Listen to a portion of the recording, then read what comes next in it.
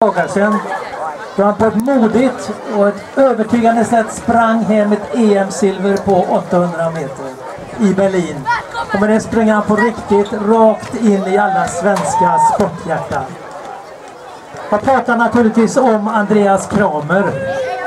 Och vi som bor här i Sävedalen är bara så stolta.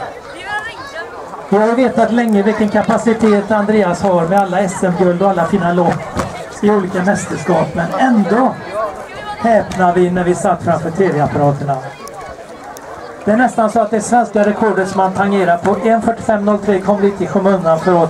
För alla orädda, taktiska och skickliga lopp han skämt bort oss med. Välkommen fram Andreas!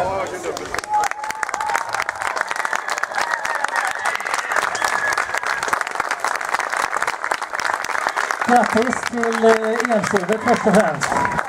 Tack så mycket. Vad inte alla känner till kanske är att Andreas spelar fotboll i Sävedalens IF. Och slutade, det är inte så många år sedan du slutade. Ja, det är väl sex år sedan, men jag höll väl ändå på i tio år tror jag.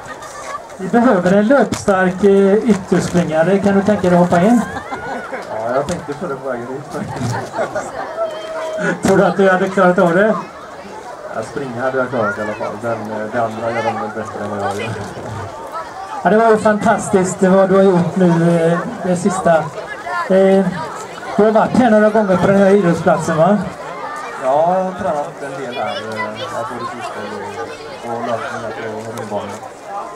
När du har sprungit dina 1000 meter och 400 meter och intervaller här för tidigare, trodde du att det skulle bära så långt som till ett EM-silver då?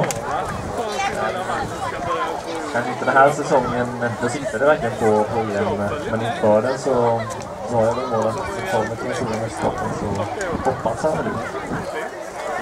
Du fattar hur stolta vi är. Det är du och Duplantis som är stjärnorna nu.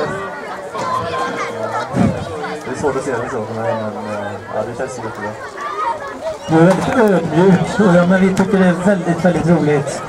Har du, känner du så att, eh, att du har fått uppskattning efter loppet och att du har gått hem hos svenska folket?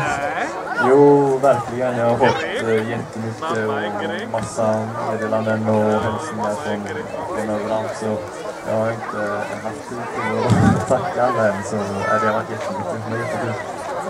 Ja, jag förstår det. Jag förstår det för att det gick verkligen hem i alla hjärtan dina lopp. Alla de tre loppen. Vad tycker du om det? Du har inte sett så mycket på matchen va? Nej, jag har inte gjort det. Jag ska, tänkte träna här efter tänkte jag. Så kommer träningsläger. Okej, då får vi stanna och kolla på när Andreas tränar då. Eh, kul! Och sen kallar vi fram Anders Melander som är ordförande i Sävedalens IF. Dessutom Bengt Landgren ifrån SAIK mot Andreas klubb som han springer för.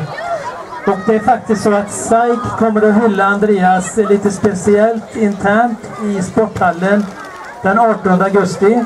Och då är alla välkomna. 18 september, ja okej. Okay. Det måste det ju vara såklart.